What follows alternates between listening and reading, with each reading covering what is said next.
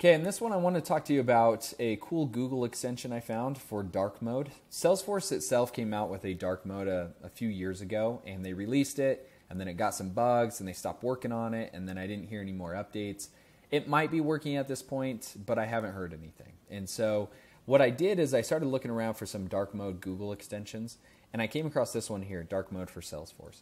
You can definitely use this one. Um, the only reason I'm going to show you two today is because this one you do have to pay for at this point. I believe at one point it was free. Looks like they have 30,000 plus users on it now, so they're monetizing, um, which is all fair game. But if you don't want to pay for it, there is another one that just turns any website you go to into dark mode, and it's super dark mode.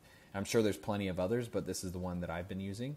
And so the reason I want to show this is one, aesthetics. I think it's really cool to kind of have in dark mode. But two, if you stare at the screen all day, it's nice to have it in dark mode so you're not killing your eyes all the time. So I can kind of show you how this works. You'll jump over here to Salesforce. Mine already, like my dev org is already kind of blacked out, but it's just this little guy up here. I'd literally just click it, and now everything here is going to be in dark mode, which is nice.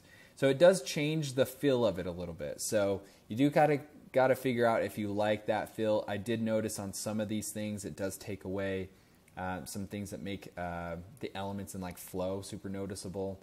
So I would just play around with it, see if this is something you're happy with, see if it's something that you're going to be okay with. But you can kind of see here, right? And I already had this one pulled up. But you can see here uh, when we take it out of dark mode, you see the pink, the blue, and that's a little more recognizable. When you turn it into dark mode, you can just kind of see those icons. And so it does make it a, you know, a little more difficult, I would say, if you're used to the other one. If you do have this in auto layout, though, it makes it a little bit easier because it goes right in a row.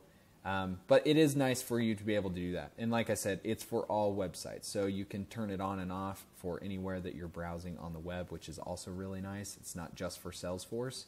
Um, I also like that you can just pin it up here and it's a nice toggle back and forth. So, you know, if you don't love it when you're working on flows, you can always just turn it off, right? And if you get back over here and you do like it, you can always turn it right back on.